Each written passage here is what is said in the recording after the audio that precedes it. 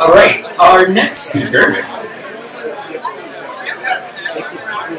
Our next speaker is Dr.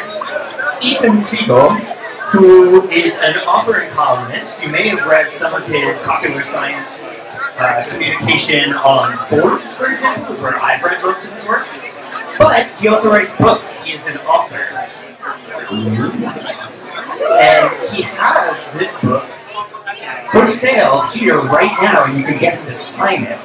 It's called Beyond the Galaxy How Humanity Looked Beyond Our Milky Way and Discovered the Entire Universe. Speak to Ethan afterwards if you would like a copy. Please join me in welcoming Dr. Ethan Siegel.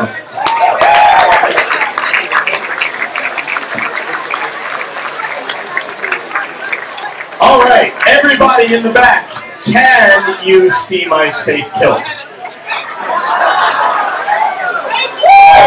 Thank you. All right, so uh, the question portion of this, the quiz portion is over. I am very much in the, I am just going to give you all the answers. So Many of you have had, learned a lot of things about what has happened in the universe so far. We've had 13.8 billion years of it being pretty good. And I'm going to spend the next 15 to 20 minutes giving you the entire rest of the story. So if you would like to know where everything is headed, let's see if we can cover it all. And here we go. So, wait, wait, wait, this is going to work, right? Okay, so here's what we're going to talk about. I'm going to go real quick and give you what the universe actually is. If you do not know what the universe is, that's okay. We're going to cover that first. Then I'm going to talk to you about what the possible fates are, what we observe, what we think is going to happen, what the fate is of planets, stars, and galaxies, and finally, what that means for the entire universe. If that's all lot, you don't have to remember it. I'm just going to give you the answers. So, what is the universe? Sarah showed you a great picture of a telescope called the Sloan Digital Sky Survey. This is a result from the Sloan Digital Sky Survey. And if you don't know what it is, it's because you've probably never seen anything like this before. What this is, is you know that the Milky Way shines through the galaxy. And if you look at the North Pole of the Milky Way, you don't get any of the Milky Way stars in the way. So what the Sloan Digital Sky Survey did was it looked in that region of space, and everywhere it found a galaxy, it said, okay, I'm going to take some data there. That's a point. This is an image of 400,000 points from looking at the North Pole of the galaxy. Every point in this image is a galaxy. And what you see is that some points are big clusters of galaxies. Some points are big voids where there are very few galaxies, and you get this sort of weird web-like structure. If you take a look at our theory and what we predict, this is a cosmic theory of what we should form. So the answer is we should get a web-like structure. We see a web-like structure. That's what the universe looks like today where you have these big nodes, you should have big collections of mass. That's where gravity wins the most. You get thousands of Milky Way-like galaxies all together. Along these little filaments in the sparse regions, you get little beads of galaxies, little tiny groups and clusters like us, where we've got us and Andromeda and about 50 or 60 like little monsters, and that's it. Right? And then you have these big voids. These are the big cosmic losers. They give up all their matter to everyone else. You don't form stars or galaxy theirs. And this is weird because most places in the universe are like that. Most places in the universe are these big empty places. You are very, very fortunate to be in one of these little matter clumps where you're actually on a planet. If you would say, what's the average density of the universe? If you took all the matter in the universe and you smeared it out, and you say, what's the density of that versus what's my density now? It's a 1 with 30 zeros after it is how much more dense we are here than the average. Uh, so that's pretty good. All right. What else is out there? So if we look at just a narrow region of space, right, you would say, oh, like there's galaxies here. And you would look at this image and you'd say, yeah, there's like big galaxies, and then there's like small galaxies, and, and that's what it is. And That's right. That's totally wrong. What, what am I doing here? No, these galaxies are pretty much the same size. The ones that look smaller are just further away. So that's why what Sarah showed you, if you looked farther and farther back, right, at that big Hubble Deep Field image where she showed you a couple of stars, that's just a tiny fraction of this image, of something like this, where you look super deep and you can see the farther you look, the fainter you look, the more distant an object you can see. So it's easy to see the close ones because the light doesn't spread out as much, but the farther away you go, the harder it is to see. But everywhere we look, we see stuff. We see galaxies. This is something we see on a much smaller scale.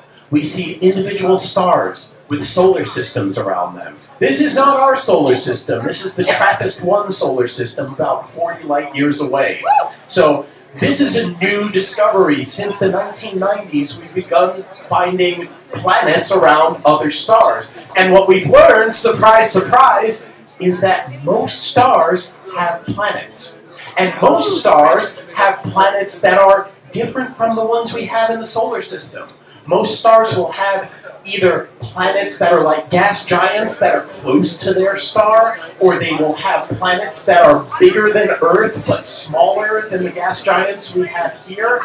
Our solar system is just one possible outcome of a huge diversity of stuff. So our universe is full of stars and galaxies with these heavy element planets and chances for life. That's the big lucky thing in our universe is that we have all of these complex atoms and molecules that come together and they make interesting things. Right? That's what we are. Is we're an interesting thing. This is great because the universe wasn't born with us. The universe wasn't even born with the right ingredients to make us. But things unfolded in such a way that here we are. And there is a whole great cosmic story about this, about how the Big Bang happened and everything expanded and cooled. And you formed neutral atoms when it cooled enough. And these atoms came together under the influence of gravity to form the first stars. And the stars lived and died and exploded and put their these heavy elements back out into space that formed the next generations of stars. And galaxies merged together. And, and, and after 13.8 billion years, here we are. That's background. Right? We make stars, we know that. Stars live and die. The universe has expanded now. Anywhere we look, 46 billion light years in any direction.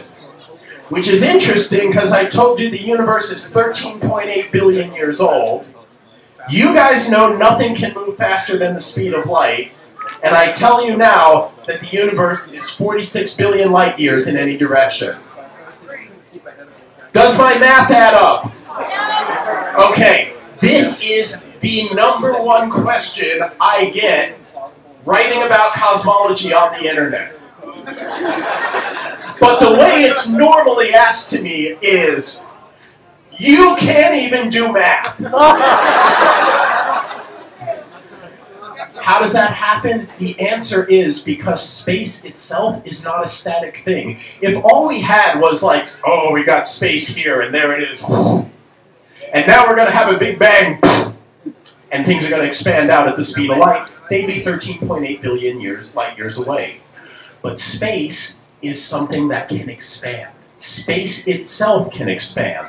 That's an important thing to realize. So it's not like um, it's not like I just I just threw something away from me. It's like I have a moving walkway and I roll something away on the moving walkway and the walkway moves and the thing moves and that's how it can get even farther away.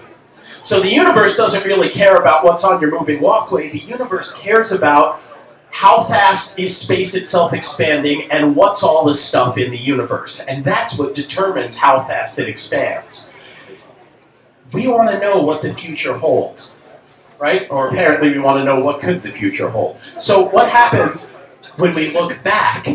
That actually is where we find the answer.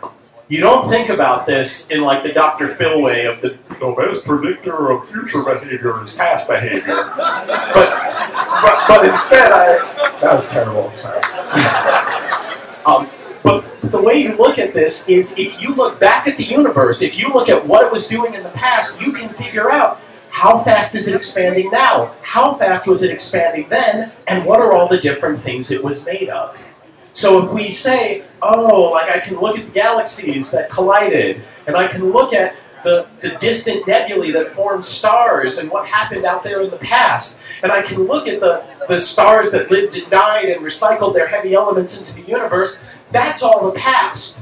But the farther back I look at these things, the farther back I look at all the different ways I can measure what was the universe like in the past, that helps tell me what it's like in the future. So imagine now, we've gone all the way back to the Big Bang, right? So everything is hot, dense, and expanding super fast.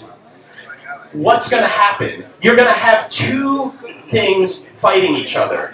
It's like a race. On one hand, you have this initial expansion, pushing everything out, trying to drive space apart.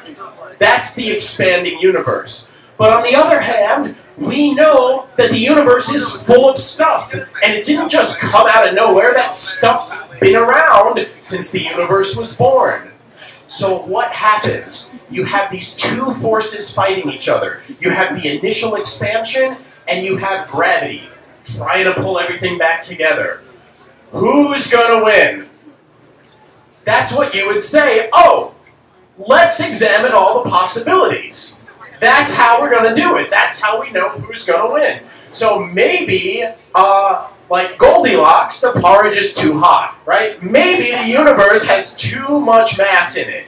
So what happens if gravity wins? You can imagine it, right? Like the space is expanding, it's getting farther and farther apart, but gravity is like, ah! It's going to pull everything back together. It's going to try and drive everything in. So you're going to hit some maximum size, and gravity's still going to be pulling, and things are going to turn around, and the universe is going to recollapse. And you had a big bang, and before you know it, after a certain amount of time, you end in a big crunch. So that's one fate. The other is what if we're what if we're down here, right? What if it's the other way? What if the porridge is too cold? What if the expansion wins and there's not enough gravity? Well, then you'll expand and gravity will slow you down, but it won't slow you down enough and you'll just expand forever and ever and ever. And the last one is that other Goldilocks possibility. Maybe it's just right. Maybe the universe is going to expand and try and reach some maximum size, and gravity's going to try and turn it around. It's going to be perfectly balanced. Where if you had one more proton, you'd recollapse. But it doesn't. Instead, the expansion rate just asymptotes to zero. Everyone knows what an asymptote is if you have student loans. Okay. So these are your three possibilities here.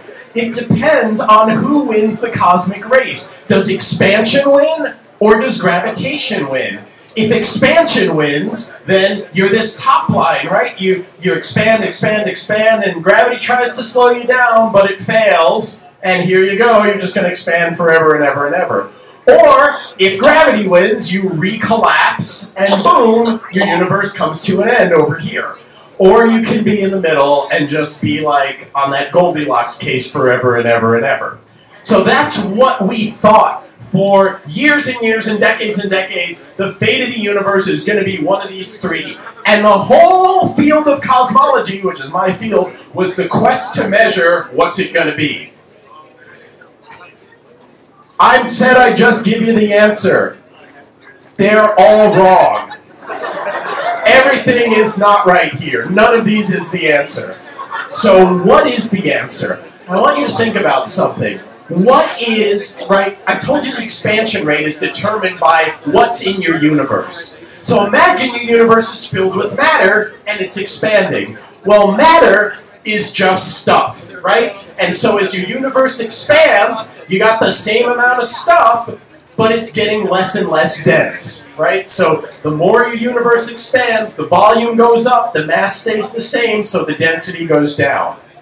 And that's it. That's how your universe would work if all you had was matter in it. And so you can see the expansion rate drops over time.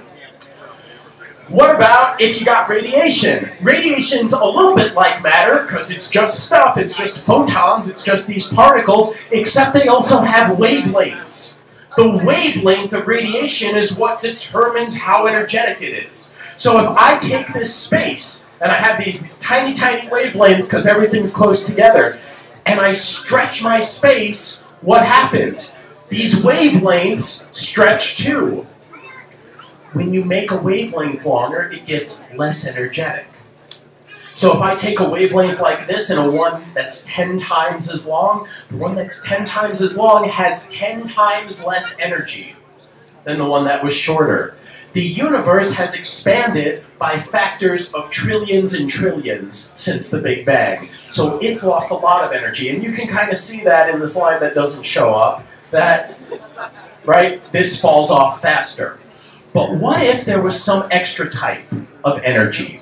What if there was this type of energy that just was inherent to space itself? What if I just said, what about the energy of space itself? It doesn't drop, right? Because if I have this universe and then I have this universe, there's just more space now. So if there's any type of energy that's inherent to the fabric of space, then as space grows, this energy is just growing. In this case, the expansion rate remains constant. It doesn't drop. So as your universe grows, it's like you're just making more and more of this new type of energy if there's any non-zero energy to space itself. So this is what Sarah was telling you they discovered in 1998 looking at supernovae, right? That you look at these faint ones, and then you look at these more distant ones, and you said, oh, yeah, right. If the universe were like down here, this would be the closed case where it recollapses, the big crunch case. This middle line here would be the intermediate case where it's that Goldilocks porridge is just right, right? And this would be this third line up here. That's the that's the open case. That's the case where the universe expands forever. But what we observe is none of those. It's this top line. It's this case where the universe appears to have this extra thing, this extra energy inherent to space itself. So, what does that mean if the universe has this extra energy? It means instead of a universe that expands and recollapses, or that expands forever, or that is on the border between expansion forever and recollapse, we have this other universe instead. We have one that accelerates. We have one that if we look at a distant galaxy that's a certain distance away, we see that galaxy expand from us. And the farther away the galaxy gets, the faster it appears to expand from us. The faster and faster it moves away. That's the thing that's accelerating. Not the expansion rate. I told you the expansion rate stays constant.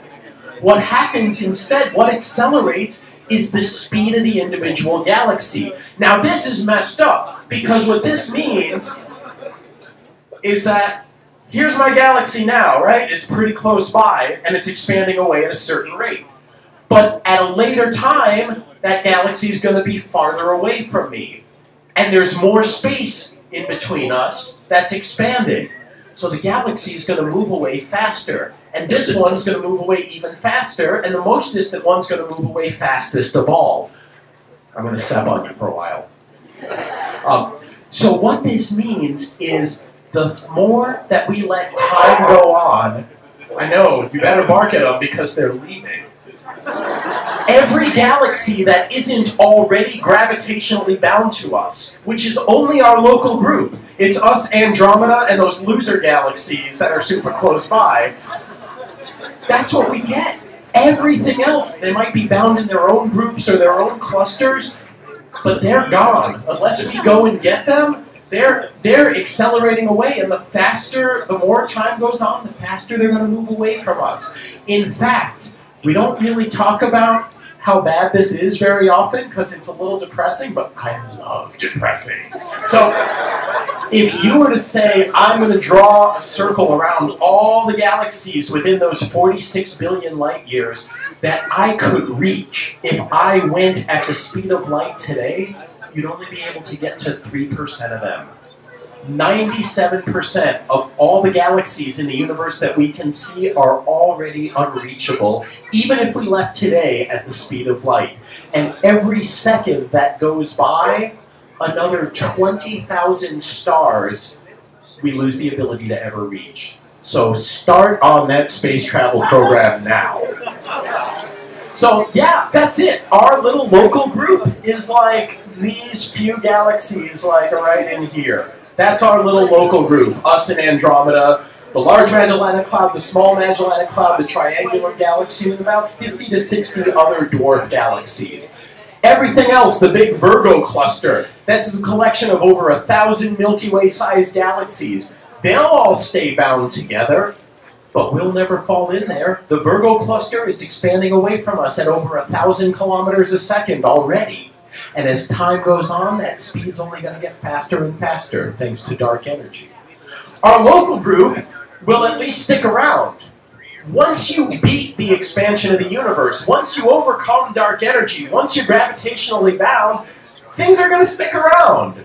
So you're in luck. Dark energy isn't going to come for you. Right? We'll get all the galaxies in us, all the galaxies, all the stars in Andromeda, all these little satellite galaxies, we're all going to merge together. It's going to be awesome. Here's what's going to happen four to seven billion years in the future.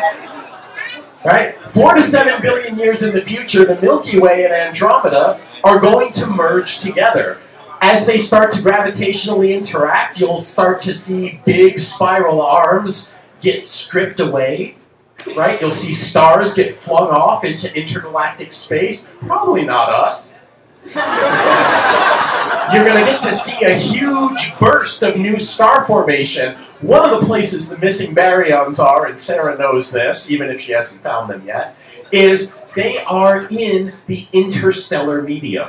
They are in the form of gas and dust and plasma in the halo of our galaxy. When galaxies collide, these gases will form new generations of stars. So we can expect a whole wild burst of new star formation when this happens. But once that merger is complete, we're going to become a giant elliptical galaxy that's a merger of the Milky Way and Andromeda. And we have already named it. It sounds like a terrible candy bar. Milkdromeda. What about in our solar system? What's our future?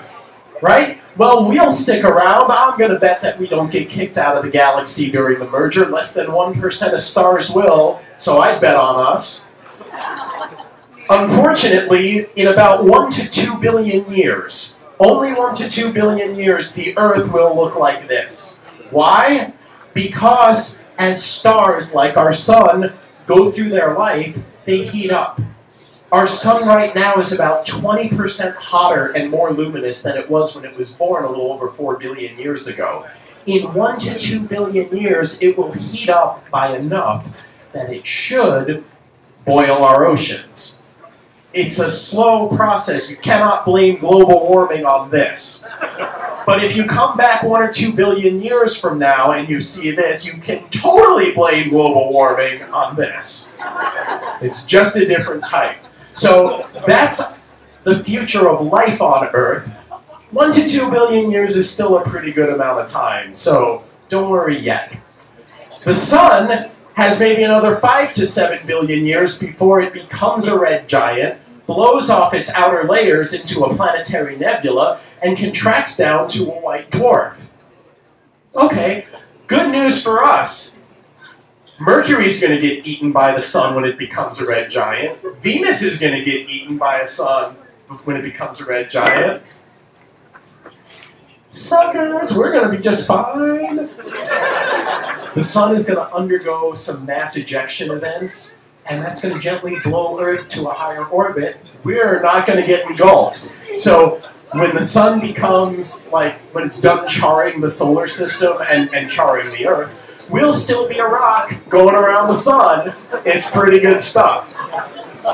Our sun will contract down to a white dwarf which will continue to be visible if there were any people left on earth which will not look like this in the future. Uh, the sun is going to stay as a luminous white dwarf for about a quadrillion years, about 10 to the 15 years before it goes dark. That is about 100,000 times the current age of the universe. There is not a single white dwarf star that has gone dark yet in the entire universe and won't be for trillions and trillions of years. The galaxy is going to look awesome if you could watch it from the Earth during that time, which you can't because we're going to be destroyed by the sun because of that whole boiling oceans thing. So let's pretend that this is from terraformed Mars. All right. So you're going to see, this is Andromeda, this is the Milky Way, you're going to see this big burst of star formation. That is fun, by the way. When you look up at a galaxy, have you ever seen pictures of galaxies with like these little pink things tracing their spiral arms? Have you ever seen that pink thing? Next time you see a big famous astronomy picture, look for those little pink lines around the spiral arms. That pink is real when you form new stars, it emits light of a very particular wavelength. That is 656 nanometers, which is red to our eyes. You combine red and white light, and that's the pink you see. So keep a lookout for that in the sky 4 billion years from now. What about the stars? Right? I told you about when our star is going to go dark, right? We can have these big, massive sun-like stars. When they run out of fuel, they turn into white dwarfs. When white dwarfs run out of energy after they radiated away for enough time, they go dark. What's the universe going to look like when our white dwarf goes dark? Well, our night sky is mostly stars in our own galaxy. And if we were to say, hey, I wonder what this is going to look like 10 to the 15 years from now, most of the stars will have burned out. All the ones that exist today will have burned out, but you form new ones. You just don't form as many in the future as you're forming now. That's something that we need to appreciate, is that when we look at the universe today, most of the stars formed 10 billion years ago already. As time goes on, we're forming new ones, but we're forming them at lower and lower and lower rates. So by time we get to when our star has burned out, the universe is going to kind of look like this. It's going to be really dark, and the only points of light that are left will be super red in color. They will be low in energy, low in temperature. Uh, hopefully, we'll have better eyes by then. And what about the future of black holes? You might say, this does not look like a black hole.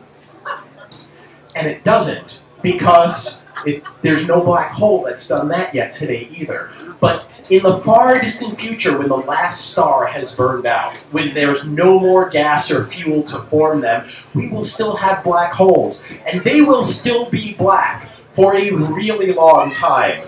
If you were to take the sun and say, I'm going to turn the sun into a black hole, it would stick around as a black hole for 10 to the 67 years. So one with 67 zeros after it and then it would slowly start to lose its energy. Black holes evaporate due to a process known as Hawking radiation.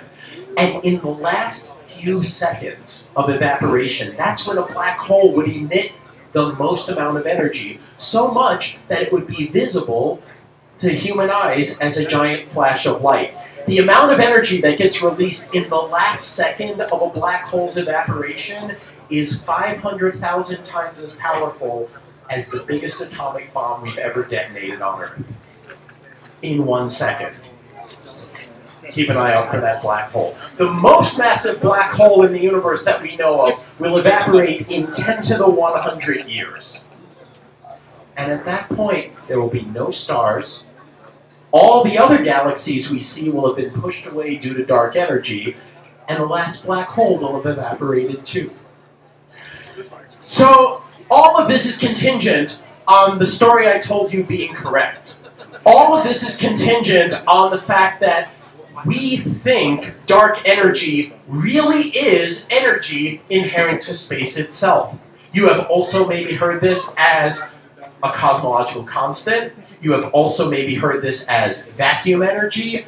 It is as though we took that same problem we started with and said, oh, here's what our universe is doing today. We looked back from now till the Big Bang, and we can extrapolate into the future and say the universe is accelerating and will expand at this rate. But that all assumes dark energy is that energy inherent to space itself. There are a number of different things it could be, though, and that's one of the things we're trying to pin down better. That's one of the goals of HETDEX. HETDEX is going to do an okay job, but if we really want to know, pin it down below 10%, below 1%, below 0.1% accuracy, we need bigger and better telescopes on the ground and in space to do these big surveys. Because it could be the case that this energy inherent to space itself gets stronger over time. What would that look like if things didn't just accelerate the farther away they got, but if that rate of acceleration went up and up and up? What would happen? Well, it means that galaxies that are bound together wouldn't necessarily stay bound together forever. As time went on and dark energy gets stronger, galaxies that look like they were going to be bound together can suddenly be pushed back apart again. Individual spiral galaxies spinning around would see the outermost stars get flung off, and then the inner ones get flung off too individual solar systems. If dark energy got so strong, we would see the Kuiper Belt disappear, and then Neptune and Uranus and Saturn eventually down to Earth. Even the planet itself would see its atoms get torn apart. And in the very final moments, everything, even the atoms that made you up, even the nuclei that made you up, would be ripped apart as well. That fate is known as the Big Rip and it's possible. I don't think it's right, but you can't be sure unless you measure it and you find out, no, the universe is really doing that. Dark energy could also do the opposite thing. It could get weaker or it could reverse in sign. So instead of getting stronger and stronger and accelerating way faster and faster forever, it could go the other direction. It could say, you know, we are going to reach a maximum size of, after all, and it is going to turn around, and it is going to recollapse, and we are going to end in a big crunch. And that's something we can also measure, right? So these alternatives, right, Sarah and I stole the same graphics. Um, you start at the Big Bang, the universe appears to decelerate, it appears to be this Goldilocks case, and then dark energy takes over when the matter density dilutes enough, and you see things accelerate and expand faster and faster. But we haven't constrained it well enough to know that it won't rip or that it won't turn around and crunch again. The way we're going to find out is through bigger and better telescopes and observatories. So how will we know? Well, the ESA is going to send up a mission called Euclid, and that is going to measure dark energy to better precision than anything we've done before. After that, NASA is going to send up the WFIRST mission, which is going to do even better. And around the same time as that, the LSST, the Large Synoptic Survey Telescope, is going to come online. So if you think that this stuff is fun, I'm telling you, it's going to get even better in the 2020s. All right. Now, I'm sure that there are no questions for me because I didn't have questions for you. That's not true. Um, but with that said, let's uh, let's stop here and see what questions you have. I'll answer the first one preemptively. Yes, this is a flask.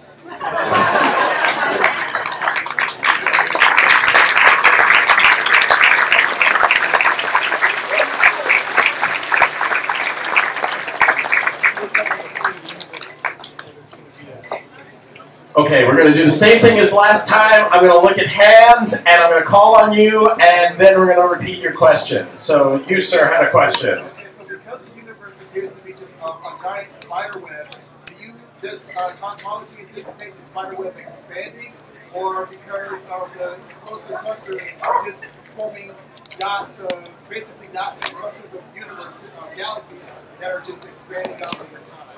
Okay, so this is a question about the cosmic spider web. So thank you for making me go all the way back to slide number three. We're going to do it. Let's see how fast it is. The question is, I said the universe is like this cosmic spider web. So what does that mean when we're talking about what's happening to galaxies in the future? Um, is that a good paraphrase? Okay. So where we have this cosmic spider web, this is something that's formed over time. If I were to say, what did the universe start off as, right, and I didn't worry about the expansion, this would be almost uniform.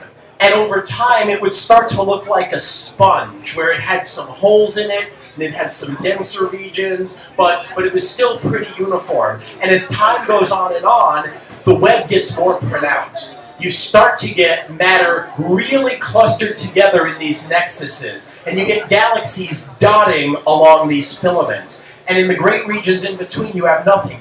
Then, after about 7 billion years or so, dark energy turns on. Dark energy becomes important. Matter has diluted so much that this energy inherent to space itself is more important for expansion.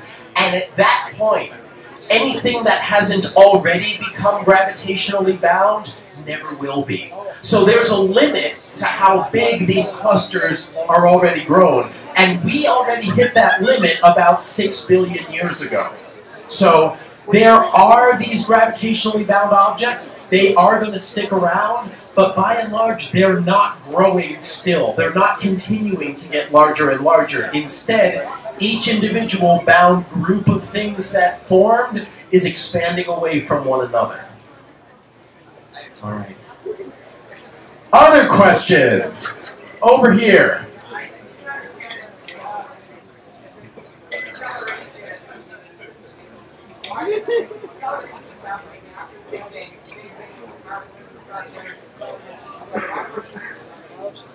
Okay, there's this question about accelerating and decelerating. The question is, if dark energy is so powerful and, and, and the initial expansion is so powerful and we're accelerating today, why was the universe decelerating for so long?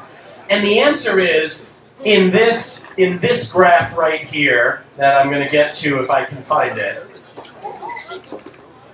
this one.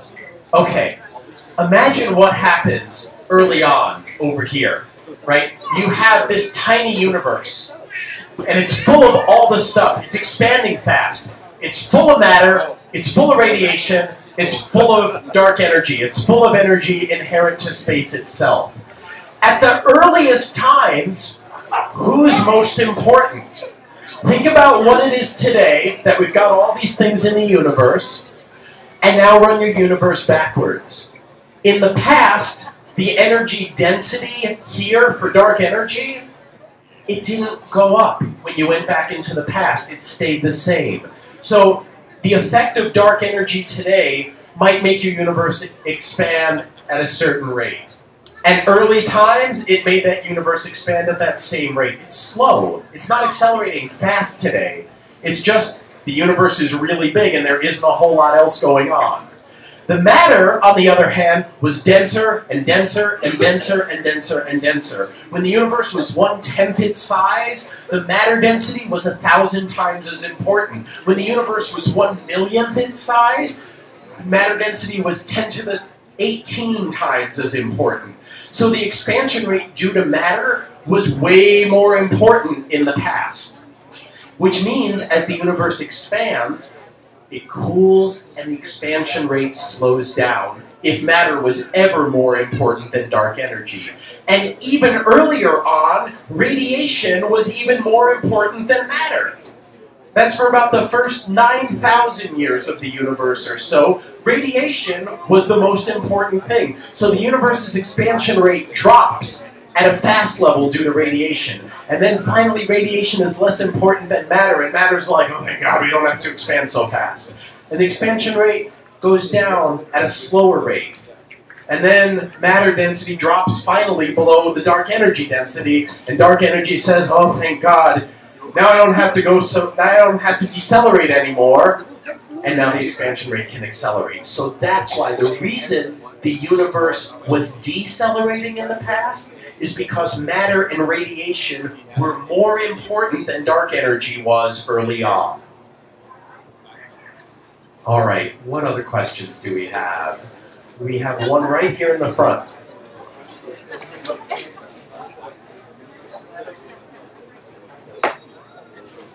I'm going to ask you to repeat that.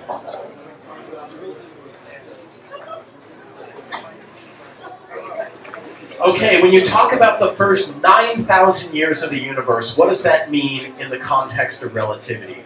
Astronomers have a lot of different ways of measuring time, right? So when I say the first 9,000 years of the universe, I mean if I look back at the universe to the moment of the Big Bang, when the universe is first full of matter and radiation, and, and I understand it as it is today, that is 13.8 billion years of the past, and that's what I call time zero.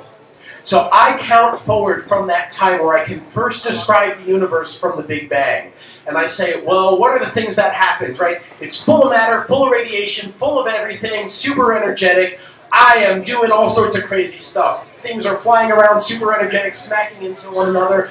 I'm making matter antimatter pairs out of pure energy, and they're annihilating away into pure energy. And all of this is going on. And as I step forward in time and the universe expands, the radiation density drops and the universe cools. So after about one second, I'm not making matter and antimatter anymore. And after about three minutes, it's cool that I can make atomic nuclei instead of just having protons and neutrons. And after 380,000 years, I can form neutral atoms for the first time, and I don't have to smash it apart immediately anytime I put a proton and an electron together.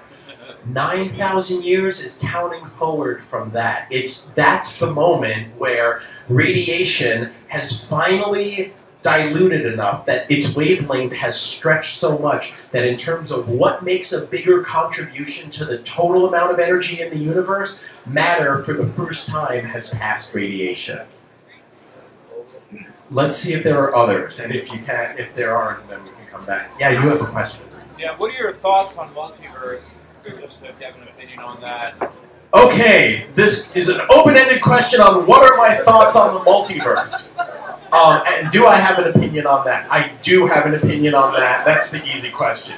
What is my opinion on the multiverse? So, the Big Bang, I've talked about that as being the moment we can first describe the universe as being expanding and full of matter and radiation.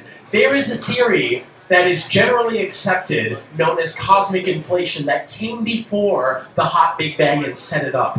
It says that at some very, very high energy, not like the tiny bit of energy inherent to space today, but at some early times, there is some huge amount of energy inherent to space itself, and that space expanded at this hugely accelerating rate.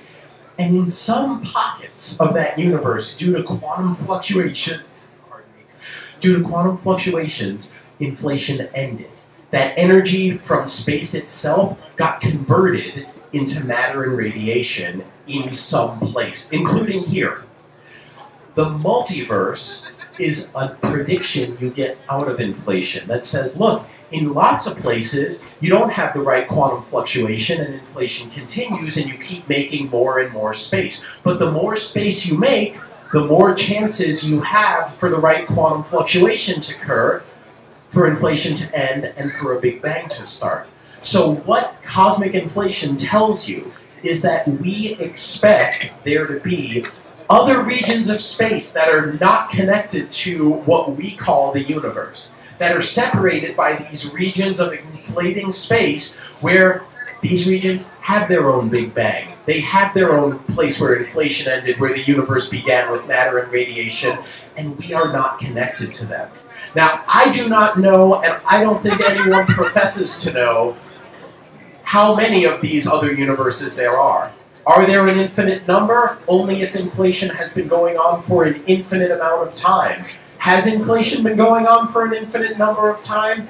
We believe our universe has information about the final 10 to the minus 33 seconds of inflation in it. That is not a big number. So it's possible that there are an infinite number of universes like this, but if these theories that we have that appear to describe our universe are, are valid, then there should be other regions that aren't contained in our own that have had big bangs, that have the expanding universe, that maybe have different laws of physics from what we have, and we don't know. Uh, shameless plug, you should read chapter 8 in my book, where we talk about this. We have time for one more question, and we are going to go with the lady in the front row.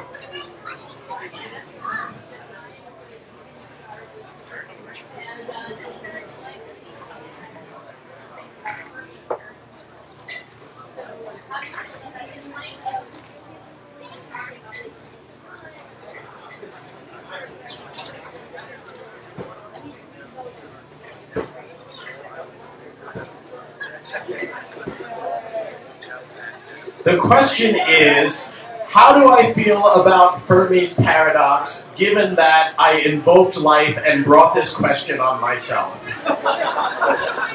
Fermi's paradox, for those of you who don't know, say, if the conditions for life are everywhere and we have all these different chances, all these stars, all these galaxies, all these planets, all these ingredients, then where is everybody? Where are all the aliens? And why haven't we heard from them yet? That is Fermi's paradox. And the, the, the simple, non-committal answer is because somewhere there is a hard step. Not, it's not easy to go from, oh, we were just matter and radiation, to we are intelligent, spacefaring human beings. We're not even really spacefaring yet. Like we're we're struggling at this. Um, but but there is some step that's hard there. Now we know some of the steps that aren't hard. We know it's not hard to make atoms. It's not hard to make stars. It's not hard to make galaxies. It's not hard to make heavy elements. It's not hard to make planets. It's not hard to make rocky planets at the right distance from their star for liquid water to be on them, with the right ingredients for life on them, with organic materials from interstellar space populating them. That part is not hard. But is it hard to take that step to go from organic materials to life?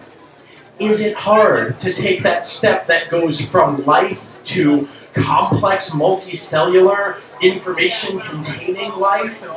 Is it hard to take that step from, say, the Cambrian explosion to intelligent tool using, spacefaring, radio using, human being type people?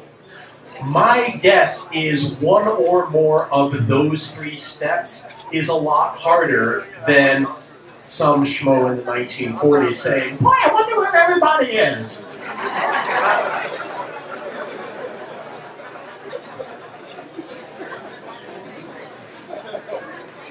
I have been told that this talk is over. Thank you.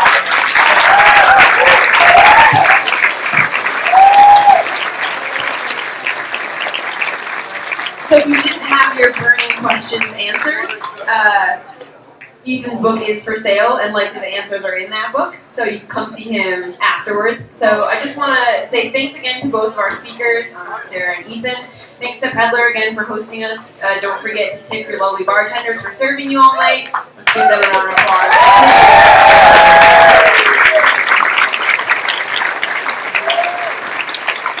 Thanks you all for coming out.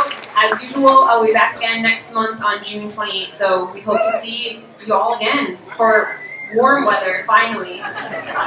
Thanks.